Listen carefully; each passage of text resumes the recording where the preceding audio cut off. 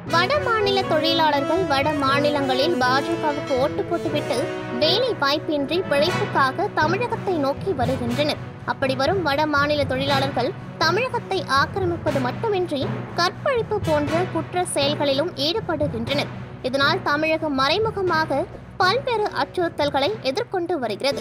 இன்று ஒரே நாளில் மட்டும் சபரிமலைக்கு பாத யாத்திரை போவது போல கோயம்புத்தூருக்கு வட மாநில தொழிலாளர்கள் நூற்றுக்கணக்கானோர் படையெடுத்து வந்தனர்.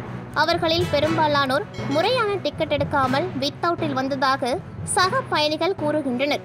இது மட்டுமின்றி அவர்கள் நாட்கணக்காக குளிக்காமல் ரயிலில் பயணம் செய்தது சக பயணிகளுக்கு வாந்தி வரவழைத்தது. இதுபோல வட மாநில தொழிலாளர்கள் தமிழகத்தை ஆக்கிரமிப்பதை தடுத்து நிறுத்த மத்திய மாநில அரசுகள் நடவடிக்கை எடுக்க வேண்டும் என்பதே தமிழக மக்களின் கோரிக்கையாக உள்ளது.